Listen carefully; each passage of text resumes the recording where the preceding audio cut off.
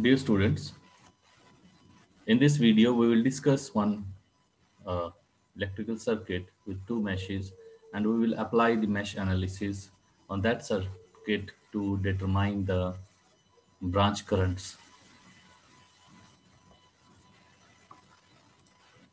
Now let us consider an electric circuit as shown in the diagram here.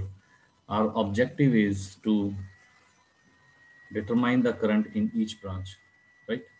So there are one, two, three, there are three branches basically. Um, branch DAB and then branch BCD and then branch BD. Okay, the central branch basically. So there are three branches and now um, the procedure to apply mesh analysis on electrical network uh, is like this. The first thing is that we will identify the number of meshes. So the number of meshes here are one and two. So these are the two meshes basically. However, we can also apply the uh, mesh analysis or KVL on the outer loop, this one, right? We can apply on this loop also, okay? So now these are the elementary loops A, B, D, A and B, C, uh, B to C to D and back to B. So these are two elementary loops here, right?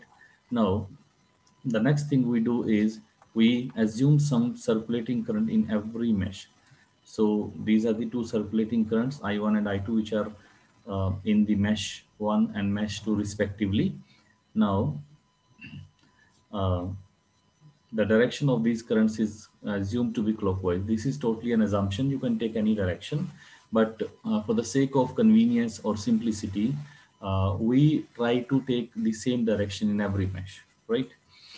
Then uh, we will mark some currents in each of the branch. So this is the current flowing in this particular branch. Now, because uh, this branch uh, D AB is not shared by any other mesh. So the current in this branch is nothing but I1 only, right? And this current will flow in this way from A to B. At junction B, when it will reach, uh, we will divide this current into two parts. Now, this is also an assumption. I'm taking it as an assumption, right? Okay. Because I do not know how the current would be flowing. Okay, now let us mark the uh, directions here uh, this is how this current is flowing in this particular branch. Now in this branch, if you see uh, the branch B, uh, C, D is not shared by any other mesh. So the current in this branch is nothing but I2, right? However, the current in this middle branch BD is nothing but I1 minus I2.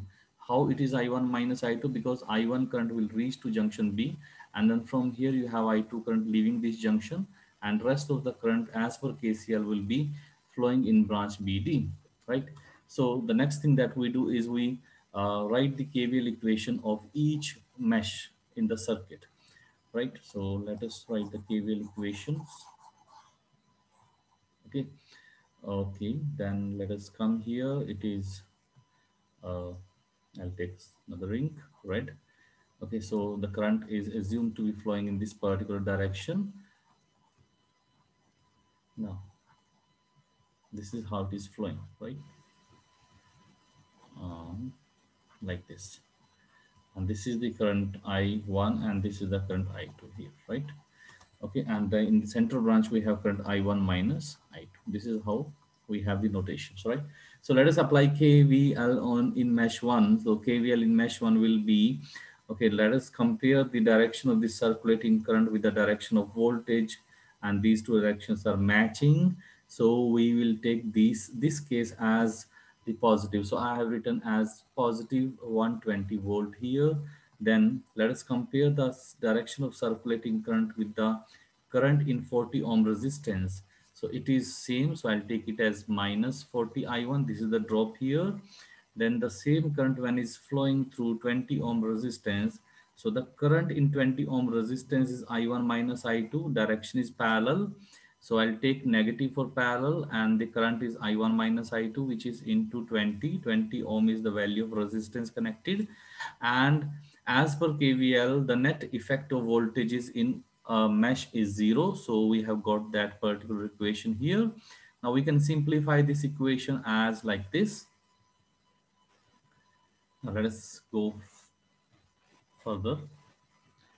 Okay, now uh, this is how we have simplified this equation. So ultimately we have got one equation which is equation number one which is 3i1 minus i2 is equal to 6 similarly we can apply kvl in mesh 2 also. So let us see how the kvl in mesh 2 is uh, applied. So i'll erase everything first then i'll draw once again. So the directions assumed in each branch are these So this is how the current is assumed to be flowing. It is totally assumed to be flowing like this. I do not know how it is flowing, but I am assuming. Okay, so this is current I2 here. And in this branch, we have current I1 minus I2 in branch BD. Now let us write the KVL equation here. Now how will we write the KVL equation? So let us write it here itself. So 60 into the current I2. Let us compare the direction of circulating current with the branch current. So these two directions are matching. So I'll write um, I'll write it here minus 60 I2. Then the direction of circulating current as far as this battery is concerned, it is uh, opposite. The current in a battery is from minus to plus, sorry, in the direction of the uh, voltage of a battery is from minus to plus. So it is not matching, they are anti-parallel. So I'll write it minus 8 here. I'll write it minus 8 then let us compare the direction of circulating current with the uh, current in BD branch. And let us see what happens. Right. Okay. So let us compare this direction. So on comparing the direction of the circulating current with the direction of this I1 minus I2 in BD, we have found that it is anti-parallel and for anti-parallel, I'll write uh, plus 20 into I1 minus I2 and then I started from junction B. So I'm ending up at junction B. So it is equal to zero, right? So this is the KVL equation of this particular circuit, uh, this particular mesh, mesh two. So this is what I have written here, minus 60 I2 minus, uh, uh, 65. So I have, I have done some mistake here. So it is not eight actually. Um, this is not eight and I'm sorry for that. This is 65 so I'll write it here. This is 65, right? so let us come to the uh, equations minus 65 plus 20 and this. So we'll simplify this equation. We have got equation number two. So we can solve these two equation, equation one and equation two to calculate the value of I1 and I2. So this is how we can solve these algebraically.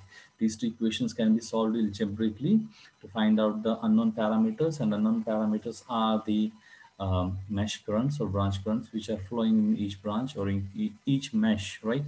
So uh, we have got I2 on solving.